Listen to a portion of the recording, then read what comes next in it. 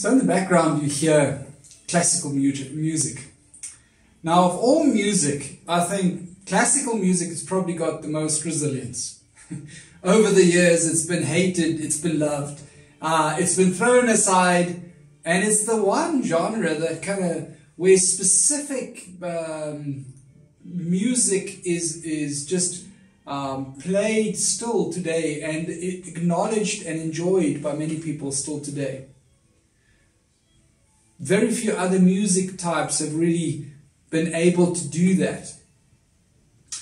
Now, in our lives, resilience is extremely important.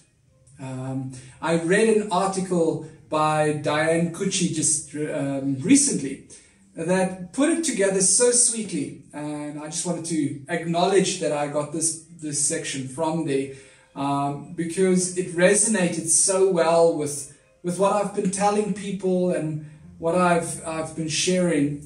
Um, so, what Diane basically said is that with resilience, the three things that are extremely important is that you face down the challenge um, or the reality that, that you're dealing with, which, as I've been sharing with you, um, the wild horse would tell you don't. The wild horse would make um, a a molehill into a, uh, a mountain, uh, it would tell you that you can't face down this reality. But acknowledging the reality, checking what are the wild horses there, acknowledging what's happening at the moment is really the first step um, in being more resilient. The second step that Diane uh, put out there was putting meaning uh, with the challenge that you're experiencing.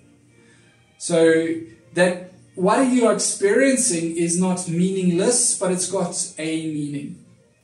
Um, on a level of faith, we, we believe that God um, will take us through it and that He will grow us in that.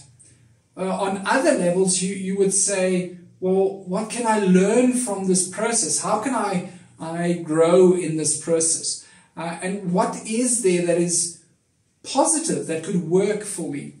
What is there that I should acknowledge and, and be thankful for?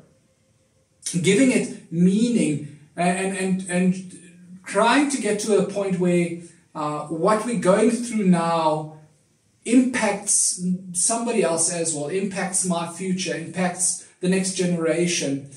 Uh, and knowing that I'm going to use whatever I'm going through now to help those people gives me just that extra boost um, to f- improvise and find some solutions, which is the third step that Diane put out.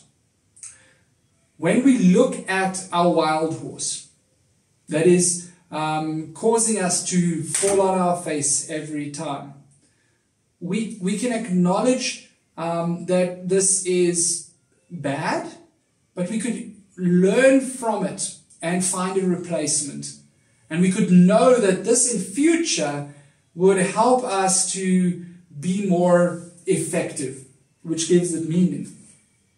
And then we could improvise. We could look at what options are there, what possibilities are there that we could move forward. I hope that you can do this not only for yourself, but you could help other people around you, that we could build a um, environment of people that are far more resilient. I hope that this um, brief summary uh, helps you and that you will implement it and use it. And that we can all help others and ourselves to be more resilient. Have fun.